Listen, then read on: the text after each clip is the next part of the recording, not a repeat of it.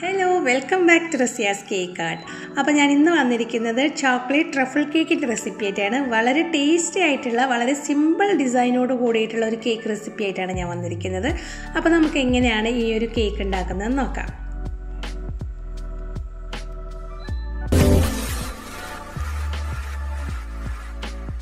ഈ ഒരു കേക്കിന് വേണ്ടിയിട്ട് ഞാനിവിടെ ആദ്യം തന്നെ ഇതിന്റെ ക്രീമാണ് പ്രിപ്പയർ ചെയ്യണത്. കാരണം ഈ ഒരു ക്രീം നന്നായി സെറ്റ് ആവേണ്ട ആവശ്യമുണ്ട് അപ്പോൾ ആദ്യം തന്നെ ഈ ക്രീം ഉണ്ടാക്കി വെക്കാം. അപ്പോൾ ഞാൻ അതിന് വേണ്ടിയിട്ട് ഇവിടെ കോമ്പൗണ്ട് ചോക്ലേറ്റ് എടുത്തിട്ടുണ്ട്. ടു കപ്പ് ചോക്ലേറ്റ് ആണ് എടുത്തേക്കുന്നത് കേട്ടോ. ഇതിലേക്ക് വേണ്ടി ഞാൻ ഒരു കപ്പ് ക്രീമാണ് എടുത്തേക്കുന്നത് വിപ്പിംഗ് ക്രീമാണ് കേട്ടോ. ഡയറി ബേസ്ഡ് ആയിട്ടുള്ള വിപ്പിംഗ് ക്രീമാണ് ഞാനിവിടെ യൂസ് ചെയ്തേക്കുന്നത് അപ്പോൾ ഒരു കപ്പ് ക്രീമും രണ്ട് കപ്പ് ചോക്ലേറ്റുമാണ് നമുക്ക് വേണ്ടത്.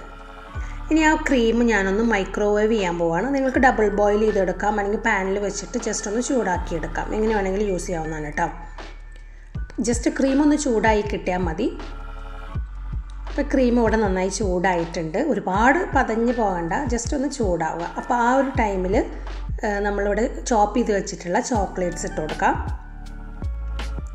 ചോക്ലേറ്റ് ഇടുമ്പോഴേക്കും തന്നെ നിങ്ങൾക്ക് കാണാൻ പറ്റും. മെൽറ്റായി പോകണം കണ്ടോ.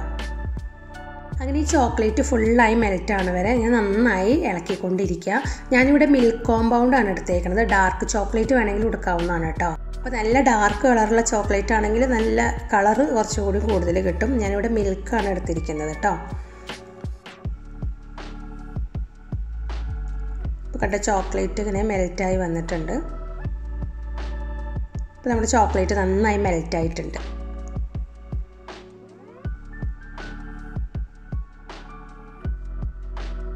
ഇനി അതൊന്ന് ഇതേപോലെ ക്ലിങ് റാപ്പ് ചെയ്തിട്ട് ഫ്രിഡ്ജിൽ കുറച്ച് നേരം വെക്കാം. അപ്പോൾ നമ്മൾ കേക്ക് ഉണ്ടാക്കി വരുമ്പോഴേക്കും ഇത് സെറ്റായിട്ടുണ്ടാവും ഇനി നമുക്ക് കേക്കിന് വേണ്ടിയിട്ട് ഞാനിവിടെ രണ്ട് എഗ്ഗാണ് കേട്ടോ എടുത്തേക്കണത് എഗ്ഗ് സെപ്പറേറ്റ് ചെയ്യണമൊന്നുമില്ല ഡയറക്റ്റ് ബീറ്റ് ചെയ്യാൻ പോവാണ്. ഇപ്പോൾ റൂം ടെമ്പറേച്ചറിലുള്ള രണ്ട് എഗ്ഗ് എടുത്തിട്ടുണ്ട്. അത് ബീറ്റ് ചെയ്യണം. അപ്പോൾ ഇനി അത് ബീറ്റ് ചെയ്യുമ്പോൾ അതിനോടൊപ്പം ഞാനൊരു ഹാഫ് കപ്പ് ഷുഗർ പൊടിച്ചത്. പൊടിച്ച പഞ്ചസാരയും കൂടി ആഡ് ചെയ്ത് കൊടുക്കുന്നുണ്ട്. ഞാനിവിടെ ഹാഫ് കപ്പ് മൈദയുടെ റെസിപ്പി വെച്ചിട്ടാണ് ചെയ്യുന്നത് അപ്പോൾ ഹാഫ് കപ്പ് തന്നെയാണ് പൊടിച്ച പഞ്ചസാരയും ആഡ് ചെയ്യേണ്ടത്. അപ്പോൾ ഈ മുട്ട ബീറ്റ് ചെയ്തുകൊണ്ടിരിക്കുമ്പോൾ അതിനോടൊപ്പം ഈ പൊടിച്ച പഞ്ചസാരയും കുറേശ്ശെയായിട്ട് ആഡ് ചെയ്ത് കൊടുക്കാം.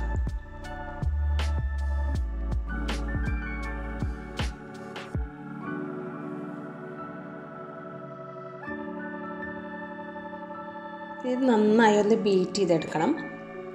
ഇപ്പോൾ ഈ ഒരു കൺസിസ്റ്റൻസി എത്തുമ്പോൾ അതിലേക്ക് വാനില എസൻസ് ആഡ് ചെയ്ത് കൊടുക്കാം. ഞാനിവിടെ one teaspoon vanilla essence add ചെയ്ത് കൊടുക്കുന്നുണ്ട് കേട്ടോ എസൻസും ആഡ് ചെയ്തിട്ട് കുറച്ച് നേരം കൂടി ഒന്ന് ബീറ്റ് ചെയ്തിട്ട് അതൊന്ന് മാറ്റി വയ്ക്കാം ഇനി നമുക്ക് ഡ്രൈ ഇൻഗ്രീഡിയൻസ് നോക്കാം. ഞാനിവിടെ ഹാഫ് കപ്പ് മൈദയാണ് എടുത്തിരിക്കുന്നത്. അതിലേക്ക് ഹാഫ് ടീസ്പൂൺ ബേക്കിംഗ് പൗഡറും കാൽ ടീസ്പൂൺ ബേക്കിംഗ് സോഡയും പിന്നെ കുറച്ച് ഒരു വൺ ബൈ ഫോർ ടീസ്പൂൺ ഉപ്പും പിന്നെ വേണ്ടത് ചോക്ലേറ്റ് കേക്ക് ആണല്ലോ നമ്മൾ ഉണ്ടാക്കുന്നത് അപ്പോൾ അതിലേക്ക് ഞാനൊരു three tablespoon cocoa powder add ചെയ്ത് കൊടുക്കുന്നുണ്ട്. അപ്പോൾ ത്രീ ടേബിൾ സ്പൂൺ കൊക്കോ പൗഡറും ആഡ് ചെയ്തിട്ട് നന്നായി ഒന്ന് മിക്സ് ചെയ്യുക നന്നായി ഒരു മൂന്ന് പ്രാവശ്യമൊക്കെ അരിച്ചെടുക്കണത് നല്ലതാണ് കേട്ടോ ഈ കൊക്കോ പൗഡറൊക്കെ അതിൽ ഉള്ളതുകൊണ്ട്. അപ്പോൾ നന്നായി ഒന്ന് അരിച്ചെടുക്കാം. അപ്പോൾ നമ്മുടെ ഡ്രൈ ഇൻഗ്രീഡിയൻസും വെറ്റ് ഇൻഗ്രീഡിയൻസും റെഡി ആയിട്ടുണ്ട്. ഇനി നമുക്ക് മിൽക്കും ഓയിലും ഒന്ന് മിക്സ് ചെയ്തെടുക്കാം. ഞാനിവിടെ ഫൈവ് ടേബിൾ സ്പൂൺ മിൽക്കും ഒരു ഫോർ ടേബിൾ സ്പൂൺ ഓയിലും എടുത്തിട്ടുണ്ട്. ഇനി അതിലേക്ക് കുറച്ച് ആ മൈദ ആഡ് ചെയ്തിട്ട് നന്നായി ഒന്ന് മിക്സ് ആക്കി എടുക്കാം.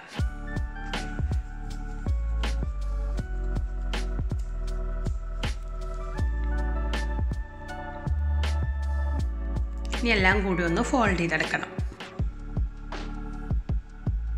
ബീറ്റർ യൂസ് ചെയ്യാതെ ഇതേപോലെ സ്പാറ്റില വെച്ചിട്ട് നന്നായി ഒന്ന് ഫോൾഡ് ചെയ്തെടുത്താൽ മതി.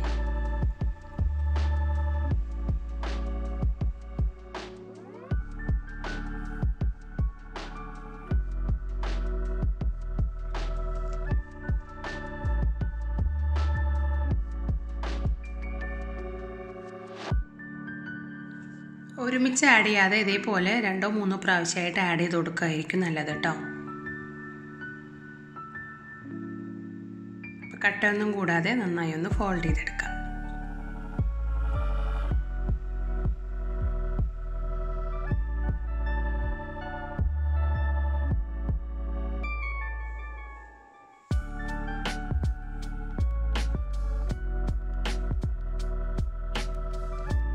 നമ്മുടെ ബാറ്റർ ഇവിടെ റെഡി ആയിട്ടുണ്ട്. ഇനി ഞാനതൊരു സിക്സ് ഇഞ്ചിന്റെ ഒരു പാനിൽ ബേക്ക് ചെയ്യാൻ വേണ്ടിയിട്ട് ഒഴിക്കുകയാണ്. ഞാനൊരു വൺ സിക്സ്റ്റി ഡിഗ്രിയിൽ ഫൈവ് മിനിറ്റ് പ്രീ ഹീറ്റ് ചെയ്ത് വെച്ചിട്ടുള്ള ഓവനാണ് അപ്പോൾ അതൊരു മുപ്പത് മിനിറ്റോളം ബേക്ക് ചെയ്തെടുക്കാം.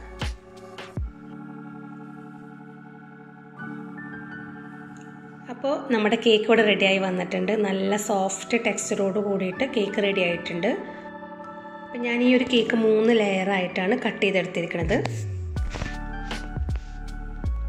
എഗ്ഗ് സെപ്പറേറ്റ് ചെയ്തിട്ടില്ലെങ്കിലും നല്ല സോഫ്റ്റുള്ള കേക്ക് തന്നെയാണ് കേട്ടോ അത്. എഗ്ഗ് സെപ്പറേറ്റ് ചെയ്തിട്ടുള്ള ഒരു ചോക്ലേറ്റ് കേക്കിന്റെ റെസിപ്പി ഞാൻ മുന്നേ അപ്ലോഡ് ചെയ്തിട്ടുണ്ട്. അപ്പോൾ ആ ഒരു റെസിപ്പിയും ഈ ഒരു കേക്കിന് വേണ്ടി ഫോളോ ചെയ്യാവുന്നതാണ്. അപ്പോൾ നമ്മുടെ ഫ്രിഡ്ജിൽ വെച്ചിട്ടുണ്ടായിരുന്ന ആ ഒരു ഗനാഷ് നല്ല തിക്കായി വന്നിട്ടുണ്ട്. ഈ ഒരു കൺസിസ്റ്റൻസിയാണ് നമുക്ക് ഈ ഒരു കേക്കിന് ഫില്ലിങ് കൊടുക്കാൻ വേണ്ടത്. അപ്പോൾ ഈ ഒരു കേക്കിന് ഫില്ലിങ്ങും പിന്നെ പുറത്തുള്ള ആ ഒരു ഐസിങ് എല്ലാം ഈ ഒരു ഗണാഷ് വെച്ചിട്ടാണ് ചെയ്യണത്. ഇപ്പോൾ ഷുഗർ സിറപ്പ് വെച്ചിട്ട് നോർമൽ ഷുഗർ സിറപ്പ് വെച്ചിട്ടൊന്ന് സോക്ക് ചെയ്ത് കൊടുക്കാം.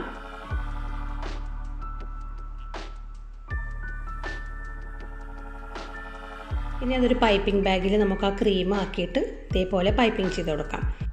അപ്പോൾ ഈ ഒരു ക്രീം നമ്മൾ ഡയറക്റ്റ് പൈപ്പിംഗ് ചെയ്ത് കൊടുക്കുകയാണ് ഈ ഒരു ക്രീമിന്റെ കൂടെ വേറെ വിപ്പിംഗ് ക്രീം ബീറ്റ് ചെയ്തൊന്നും ആഡ് ചെയ്യണില്ല. അപ്പോൾ ഈ ചോക്ലേറ്റ് ട്രഫിൾ കേക്കിൽ ആ ഗണാഷ് ഫുള്ളും നമ്മൾ ഇതേപോലെ സ്പ്രെഡ് ചെയ്ത് കൊടുക്കുകയാണ് ചെയ്യുന്നത്.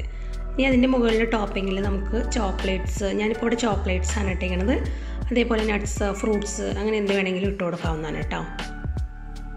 ഇനി അതേപോലെ നെക്സ്റ്റ് ലെയറും വയ്ക്കാം അപ്പോൾ മൂന്ന് ലെയേഴ്സും ഇതേപോലെ വെച്ചിട്ട് ക്രീം ഫില്ല് ചെയ്ത് കൊടുത്തിട്ടുണ്ട്. അപ്പോൾ ഞാൻ പുറത്തുള്ള ഡിസൈൻ ചെയ്യാൻ ഈ ഒരു നോസിലാണ് യൂസ് ചെയ്യുന്നത് കേട്ടോ. എം എന്ന് പറയുന്ന ഈ റോസറ്റിന്റെ നോസിലാണ് യൂസ് ചെയ്യണത്. അപ്പോൾ കുറച്ച് നേരം ഫ്രിഡ്ജിൽ കേക്ക് വെച്ചിട്ട് ഇതേപോലെ മുകളിൽ കുറച്ചൊന്ന് ക്രീം കൊടുക്കുക എന്നിട്ട് നോസിൽ വെച്ചിട്ട് ഈ ഒരു ഡിസൈൻ കൊടുക്കാവുന്നതാണ്. നിങ്ങൾക്ക് ഇഷ്ടമുള്ള ഡിസൈൻ കൊടുക്കുക ഞാനിപ്പോൾ ഇവിടെ സിമ്പിളായിട്ടുള്ളൊരു ഡിസൈനാണ് കാണിക്കുന്നത്. ഇത് ഭയങ്കര റിച്ച് ആയിട്ടുള്ള ചോക്ലേറ്റ് ടേസ്റ്റുള്ള ഒരു കേക്കാണ് ഇതിൽ ഒരുപാട് ചോക്ലേറ്റ്സ് നമ്മൾ യൂസ് ചെയ്യുന്നുണ്ട് ഈ ഒരു ഗണാഷിന് വേണ്ടിയിട്ട്. അപ്പോൾ നല്ല ടേസ്റ്റി ആയിട്ടുള്ളൊരു ചോക്ലേറ്റ് കേക്ക് തന്നെയാണ്. ഈ ഒരു കേക്കിന്റെ ടോട്ടൽ വെയിറ്റ് വന്നേക്കുന്നത് ഒരു മുക്കാൽ കിലോ ആണ് കേട്ടോ കാരണം നല്ല ഹെവി ആയിട്ടുള്ള ഐസിങ് ആണിത് ഫില്ലിംഗ് ആണെങ്കിലും പുറത്ത് കൊടുത്തിട്ടുള്ള ഈ ഒരു ഐസിങ് ആണെങ്കിലും നല്ല ഹെവി ആയിട്ടുള്ളതാണ്. അപ്പോൾ അതുകൊണ്ട് ഒരു മുക്കാൽ കിലോളം ഉണ്ടാവും. അപ്പോൾ നമ്മുടെ കേക്ക് ഇവിടെ റെഡി ആയിട്ടുണ്ട്. ഞാൻ അതിന്റെ മുകളിൽ കുറച്ച് ഫ്രോസൺ ഫ്രൂട്ട്സും കിവിയൊക്കെ വെച്ചിട്ട് ഒന്ന് ഡെക്കറേറ്റ് ചെയ്തിട്ടുണ്ട്. കണ്ടില്ലേ? അപ്പോൾ നിങ്ങൾക്ക് എല്ലാവർക്കും ഈ ഒരു ചോക്ലേറ്റ് ട്രഫിൾ കേക്ക് ഇഷ്ടമായി എന്ന് വിചാരിക്കും. നിങ്ങളെല്ലാവരും ട്രൈ ചെയ്തിട്ട് ഫീഡ്ബാക്ക് അറിയിക്കണം. ചോക്ലേറ്റ് ഇഷ്ടപ്പെടുന്ന എല്ലാവർക്കും ഒരുപാട് ഇഷ്ടപ്പെടുന്ന ഒരു കേക്കാണ്. കണ്ട നല്ല റിച്ച് ചോക്ലേറ്റ് ടേസ്റ്റാണ് അപ്പോൾ അതെന്തായാലും ട്രൈ ചെയ്തിട്ട് എന്നെ ഫീഡ്ബാക്ക് അറിയിക്കാൻ മറക്കരുത്. അതുപോലെ എന്റെ ചാനൽ ആദ്യമായിട്ട് കാണുന്നവരാണെങ്കിൽ സബ്സ്ക്രൈബ് ചെയ്യാൻ മറക്കരുത് കേട്ടോ അപ്പോൾ അടുത്തൊരു അടിപൊളി കേക്കായിട്ട് വീണ്ടും കാണാം. താങ്ക്